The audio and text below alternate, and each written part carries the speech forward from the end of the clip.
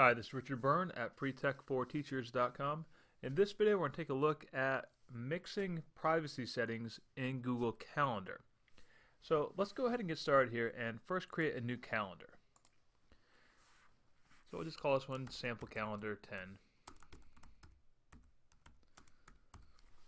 And I always like to make my calendars public so that students can see and parents can see all the contents of events on the calendar.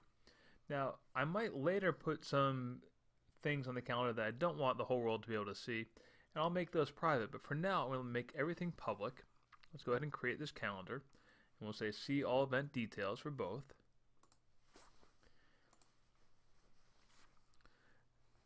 And let's just refresh this quickly, and then our new calendar will appear. So there's sample calendar 10.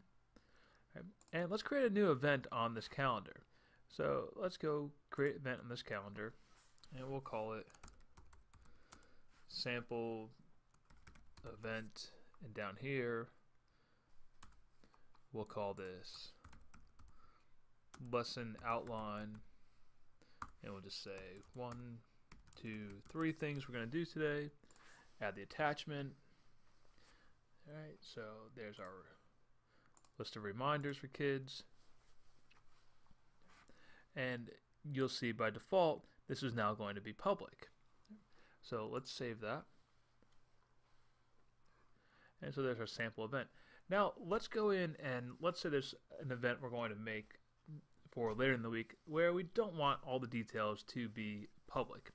So again, I'm going to go to sample calendar. Let's create a new event and we'll say field trip but I might not want to advertise to the whole world that the class is going on a field trip to a specific place. So I might just say, you know, I'll put in for field trip to da da da. And I want to make this event private. So people who are invited specifically to the calendar will be able to see the content. So if I've invited students by email to join the calendar, they'll be able to see it.